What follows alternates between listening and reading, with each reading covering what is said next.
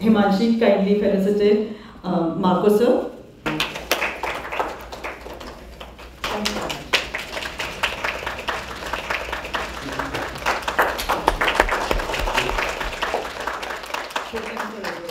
Uh, thank you for the presenters, very interesting elements. So, and a few thoughts from, our, from my side, more thoughts than assumptions or guidance, but I think it's from collective reflection that we find the next steps and the way forward. So, the first of all, and the assumption that we have is that we live in a fast-pacing, changing world.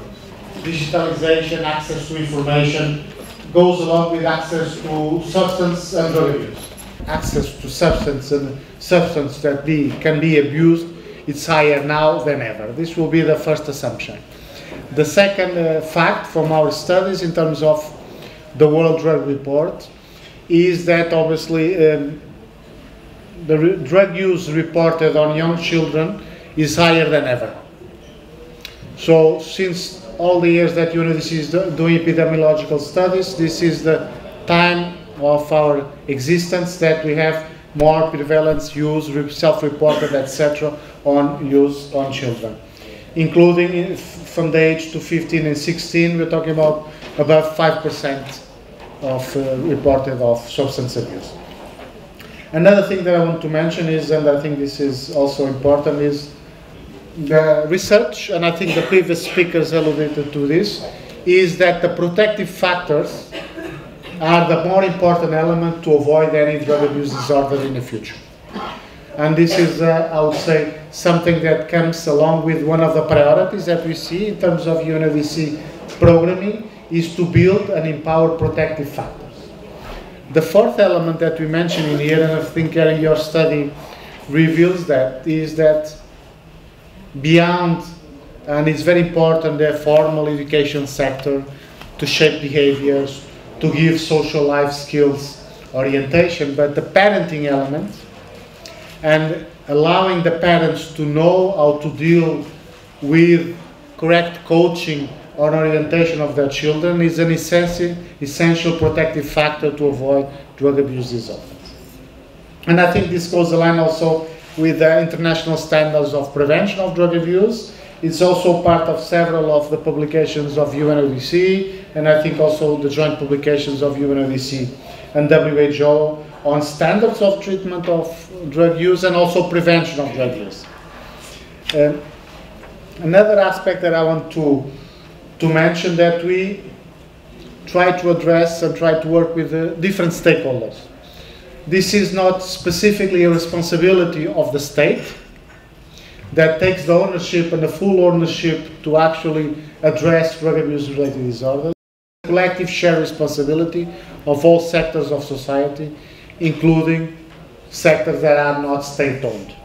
So I think I want also to mention this as an essential element from our perspective.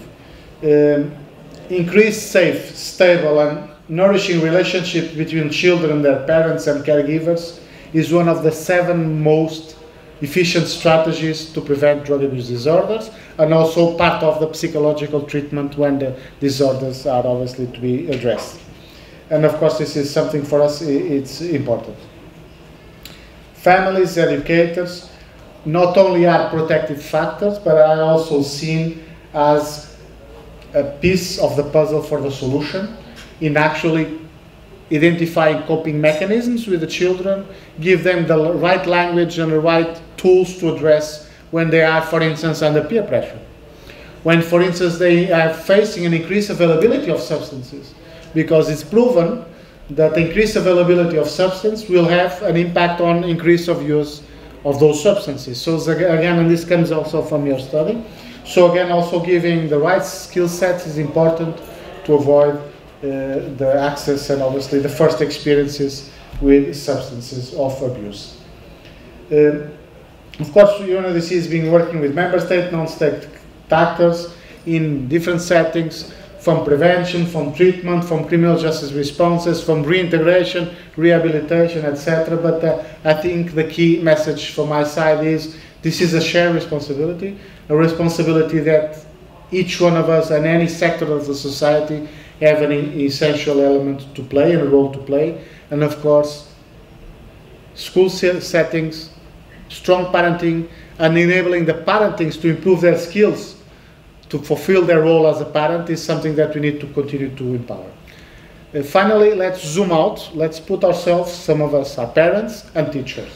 As a teacher, the teacher has to prepare lessons, to deliver lessons, to follow a curriculum, to follow the standards of teaching that they are from the central government, of district government, part of the curriculum. And besides that, they need to have tools to address non-school related issues like drug abuse related disorders or unlawful behavior.